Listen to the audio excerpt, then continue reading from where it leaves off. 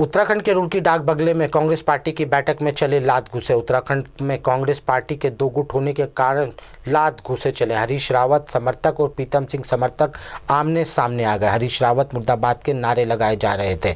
Haridwar Lok Sabha seat से प्रत्याशी की रायशुमारी को लेकर यह बैठक हुई थी। दोनों गुटों के कार्यकर्ताओं में जमकर जूत पत्रम हुई।